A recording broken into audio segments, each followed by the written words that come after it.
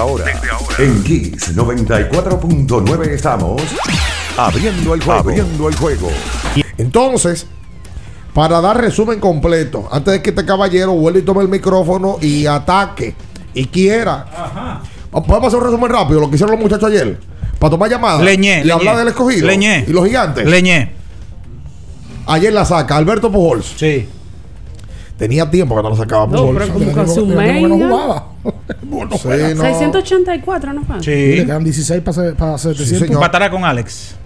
No creo. Le está Eh, 12. Ah, bueno, ese pero- ritmo está difícil. Pero mientras asume está bien. Bueno, le, le queda prácticamente la, la segunda mitad de la temporada. ¿Tú sabes qué pasó con Pujols? Aparte del jonrón. Sí. Pujols. Oye, que los números de Pujols históricos están fuera de liga. Oye, ¿con quién empató Pujols de por vida en extra bases? Con Stan Musial. Exacto. De man. 1377 extra bases de por vida. El líder es Hank Aaron, que a números nadie puede con él. A número frío, nadie puede con él. 1477, Barry Bonds 1440 y Pujols y Stan Musial extra bases 1377. Por arriba de Babe Ruth. Eso. Sí. La Que- constancia hecha pelotero, Jancaro. Sí, sí, tiene número para votar, Hank Aaron. Y ayer el equipo de San Luis gana eh, su, su- su compromiso. Cuatro carreras por tres a los Phillies de mm, Filadelfia. Y entonces, ahí la, por cierto la sacó Suárez, el número 28 de la estación. Va, va de locura. Eh, va- para hacer un resumen con todos los partidos, Baltimore ayer le ganó nueve carreras por cinco a los angelinos. Y Bol- Baltimore. me voy a parar ahí porque Baltimore tiene ocho victorias en forma consecutiva ahora mismo. Apenas un juego por debajo de 500. Oye, si la división este de la Liga Americana es complicada, que al día de hoy los Yankees están en el playoff. Los tres equipos que están por debajo de los Yankees son los que están acaparando las posiciones de wild card. Y el quinto lugar, o sea, el único equipo que falta, está en un juego de 500. A dos y medio de los Blue Jays, que son quienes están en la cuarta posición. Y ahí mismo se cae la teoría de, de- del manager de los Dodgers, que decía que la división más competitiva era el oeste de la, de la, de la nacional. Lejos. Lamentablemente, el este de la americana está bastante difícil. Totalmente. Y mira que han tenido muy buenas rachas, porque podemos hablar de que el mes de junio y julio para los, los Red Sox ha sido un mes, meses muy productivos. Y ni ha habido forma de reducir esa, esa distancia que hay entre los equipos, que es de 15 a 14 partidos. 14 tiene Boston y 15 Tampa. Ayer, eh, quien fue parte de esa victoria mm, eh, fue el, el dominicano Félix Bautista, que tiró el último episodio. ¿Cómo se llama? ¿Quién? Félix Bautista. Oh. Se pertenece aquí al escogido. Tira 100 millas por hora. Tira duro. Línea. Eh, y ya Félix lo hemos visto con los Leones. Y Jorge Mateo también, que se fue de 4-2 con anotada calladito.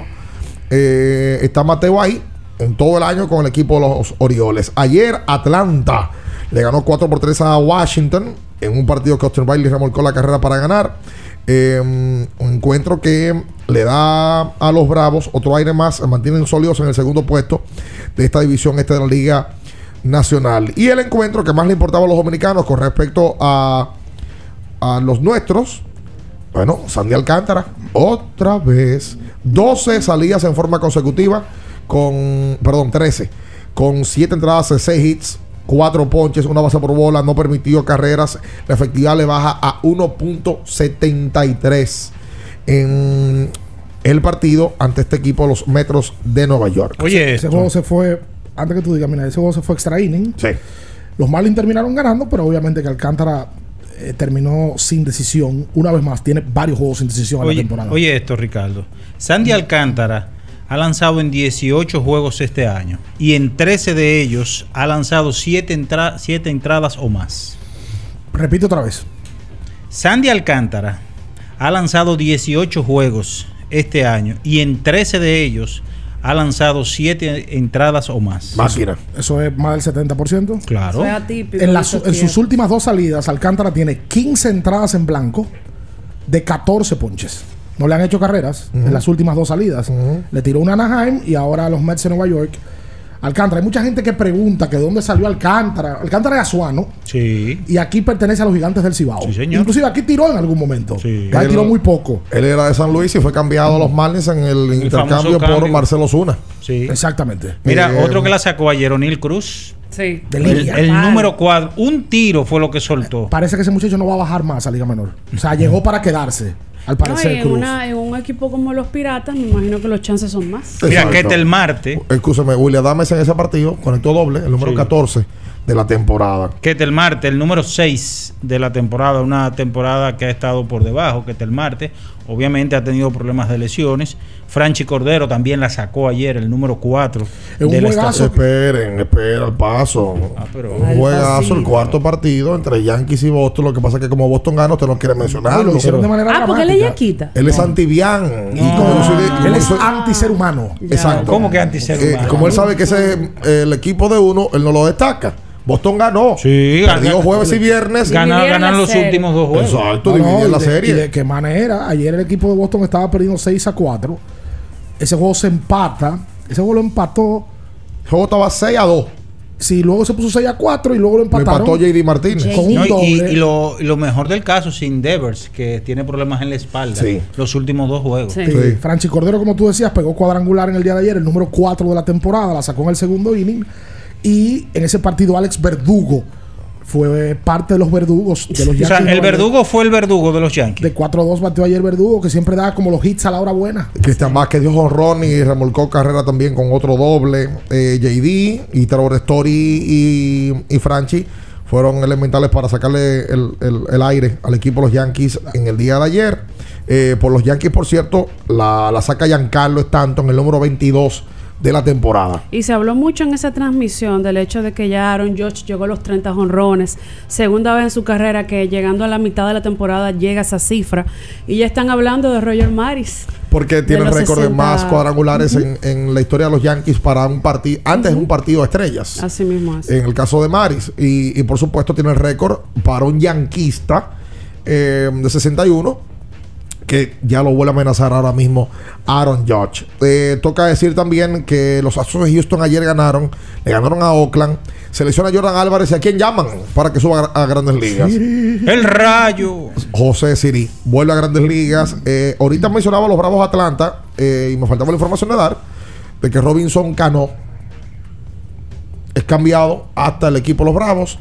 Parece que con necesidad de urgencia los Bravos lo van a llevar al equipo grande. Ah, no estaba quemando Liga Menor. O si Alvis. Estaba matando Liga Menor. Por, dinero, por ¿Qué dinero en efectivo. ¿no? Sí. Sí, o si Alvis, que es el, el, el segunda base regular del equipo, sabemos que está fuera por una lesión que aparentemente va a ser larga. Y Cano me está quemando triple A, bueno, pues una necesidad que ahí van a cubrir los Bravos de Atlanta en el momento.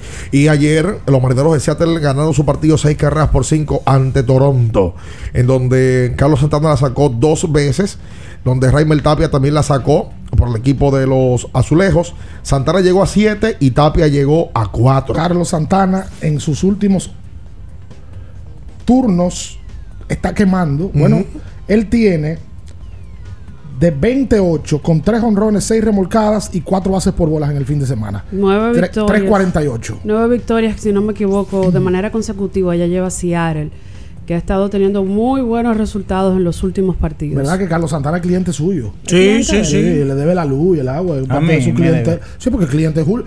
A Julio Rodríguez, tú no puedes seguir con tu ridiculez con Julio Rodríguez.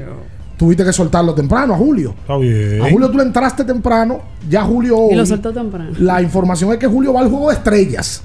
A mí me gustaría que tú siguieras hablando de esos tipos así. Ah, de verdad. Claro, porque mira lo que pasa. Pero ven acá, pero- Van al juego de estrellas al final. Y no, y no estaba mal en su primer mes de temporada. No, desde los primeros 15 días usted lo agarró. Sí, pero No, estaba lo- no mal. lo dejó ni establecer. pero estaba mal en su No. primer.